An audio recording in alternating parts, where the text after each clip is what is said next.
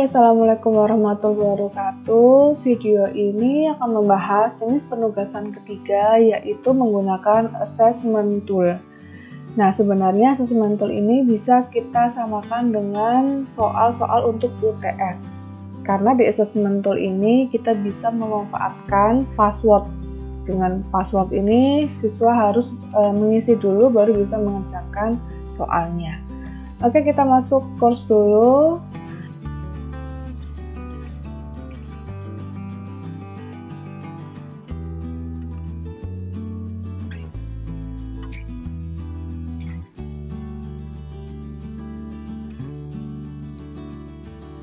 Kita klik add materials, pilih assessment tool.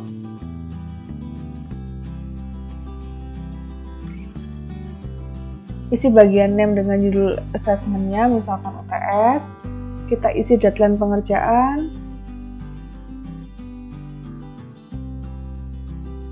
Diaktifkan dulu submissionnya atau pengiriman tugasnya. Nah, kita bisa beri password di sini, di set enable untuk memberikan password. Perlu diperhatikan password ini minimal 5 karakter dan besar kecilnya akan mempengaruhi atau istilahnya case sensitif.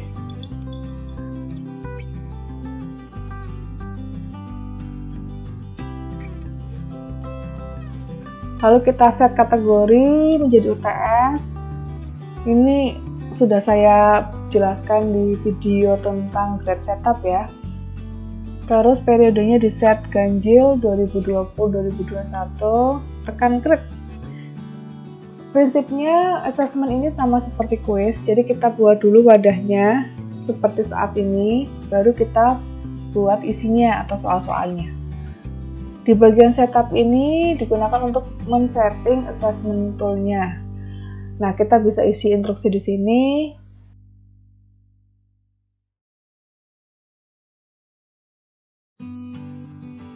Set durasi tes, misalkan 45 menit.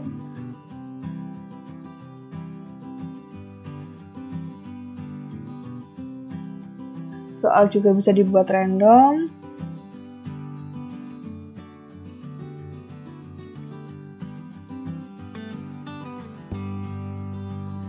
menampilkan poin atau bobot persoal,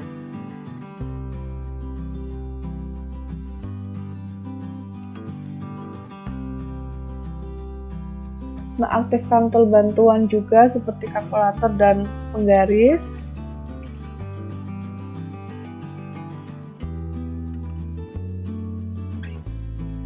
Kita juga bisa set siswa apakah bisa review hasil setelah mengerjakan tes atau tidak dan juga kita bisa set berapa kali jumlah siswa dapat mengerjakan tes ini. Jangan lupa klik save. Lalu di bagian tab question ini adalah untuk membuat soal.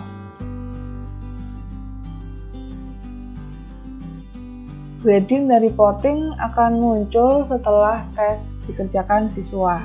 Nanti akan terisi.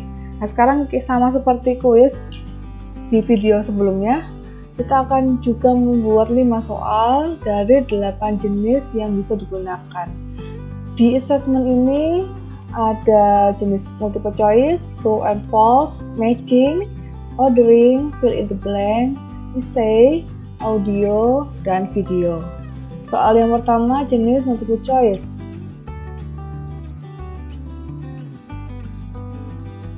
Kita isi instruksi soal di sini misalkan menggunakan rumus matematika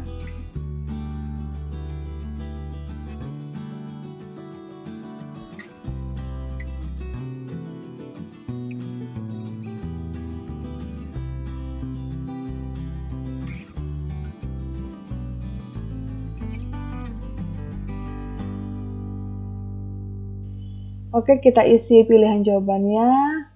Kita bisa tambahkan, misalkan ini lebih dari 4,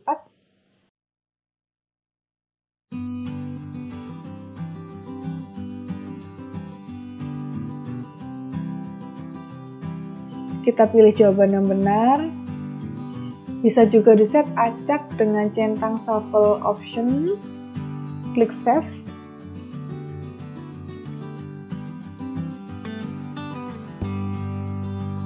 Sekarang sudah ada satu soal multiple choice. Sekarang kita akan buat soal kedua dengan jenis audio. Klik tools. Jadi soal dan jawaban ini berupa suara untuk jenis soal audio.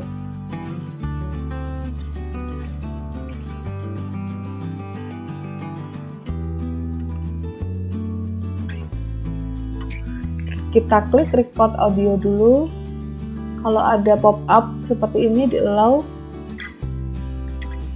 kita klik untuk merekam suara kita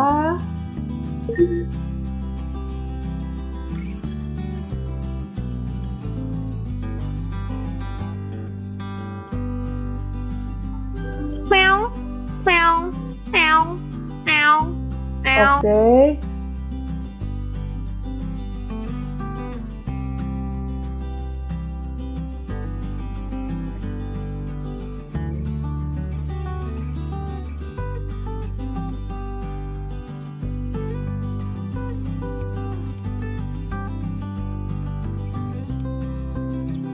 Rekaman sudah masuk ke soal, tinggal kita beri instruksi soalnya. Kita preview soalnya.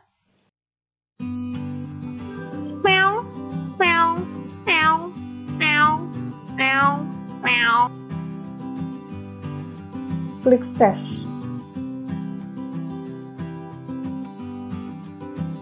Nah, sekarang sudah ada dua soal kita set dulu bobotnya jangan lupa.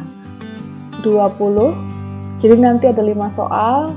Satu soal benar bobotnya 20 total 100 sekarang kita ke soal jenis ketiga menggunakan ordering.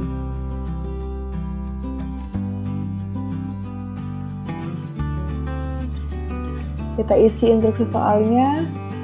Di contoh ini saya akan upload video dengan cara link video dari YouTube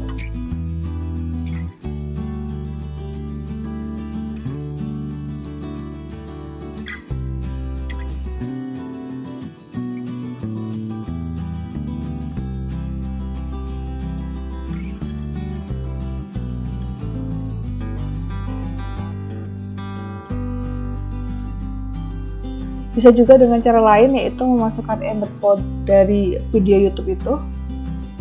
Kita masuk ke YouTube dulu, klik videonya, klik bagikan, pilih sematkan. Di sini ada kode, kita copy. Kembali lagi ke Sologi, buka search, paste di sini. Nah, ini di bagian bawahnya ya. Jadi kode yang sebelumnya jangan dihapus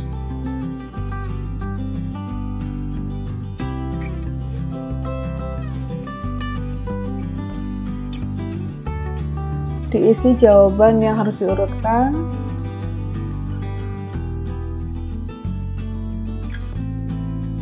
Lalu bagian ini urutan yang benar seperti apa?